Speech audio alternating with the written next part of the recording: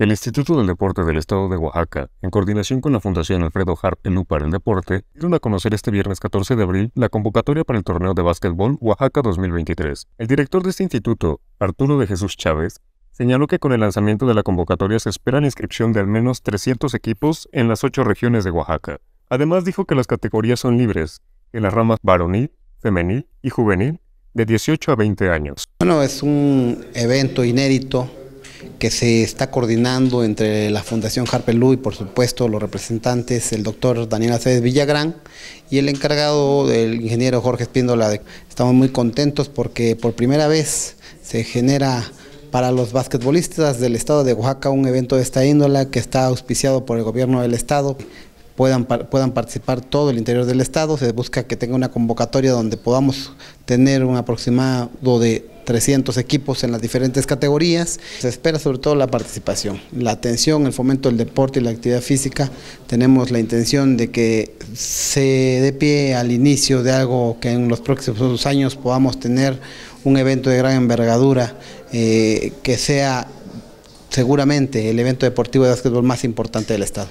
El inicio del torneo se realizará el próximo 6 de mayo de 2023 en las ocho regiones y las semifinales y finales en el gimnasio Hermanos Flores Magón. Por su parte, Jorge Espíndola, representante del señor Alfredo Harpelú, señaló que el objetivo del torneo es promover la cultura física y el deporte en el Estado, además de alejar a los jóvenes de las adicciones. Eh, la finalidad de este torneo es promover, fomentar y combatir promover y fomentar el deporte en, edades juveniles y en edades libres y combatir todas las adicciones por medio del deporte. Entonces es por eso que, la Fundación Alfredo Harpelú de Oaxaca eh, está haciendo este, esta iniciativa de un, torneo de básquetbol que inicia en breve.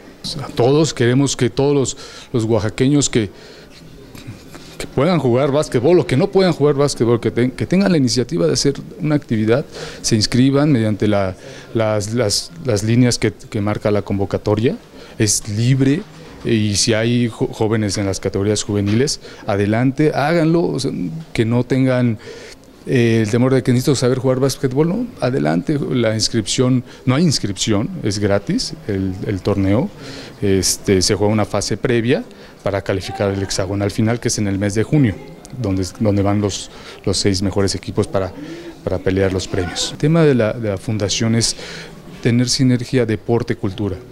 Sí, entonces es por eso que hacemos una actividad deportiva, fomentamos el deporte, combatimos la obesidad, combatimos la violencia, involucramos a todas las personas en, en unas en acciones productivas y metemos también el área de cultura.